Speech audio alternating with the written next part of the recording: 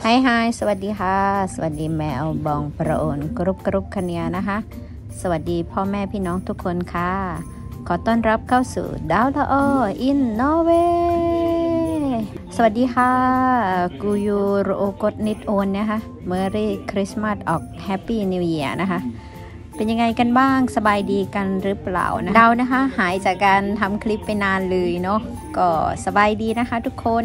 เพียงแค่ว่าไม่ค่อยได้มีเวลามาอัดคลิปนะคะดาวนะคะ ยังคงต้องไปโรงเรียนนะคะ เลิกเรียนดาวก็ไปทำงาน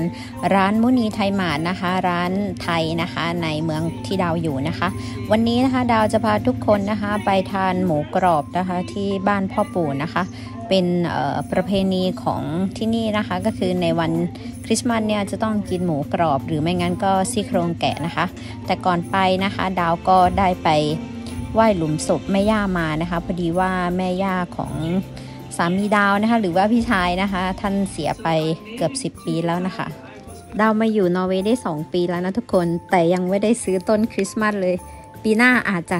อาจจะซื้อนะทุกคนแต่ปีนี้ยังไม่ซื้อนะคะ อันนี้ดาวอยู่บ้านพ่อปู่นะคะ ท่านก็จัดต้นคริสต์มาสนะคะ ทุกคนแล้วก็เตรียมหมูกรอบนะคะ ไว้รับ ลูกสะพ้ยนะคะ ลูกสะพ้ยยังไม่ค่อยรู้จากประเพณีเท่าไหร่นะคะพ่อปู่ก็เตรียมไว้ให้น่ารักมากเลยพอทานอาหารเสร็จนะคะ ดาวก็กลับบ้านมาแกะของขวัญนนะคะ ขอขอบคุณเพื่อนๆทุกคนนะคะ ที่ให้ของขวัญดาวมานะคะ มีหลายอย่างเลยแล้วก็น้องนะคะ อยู่ทางใต้ของนอร์เวย์นะคะ ก็ส่งของขวัญมาให้นะคะก็ปีนี้นะคะก็ขอให้ทุกคนนะคะมีแต่ความสุขสุขภาพร่างกายแข็งแรงนะคะ คิดสิ่งใดก็สมความมุ่งมา่ปรารถนานะคะ สุขสมหวังร่ำรวยตลอดปีและตลอดไป บ๊ายบายฮาแด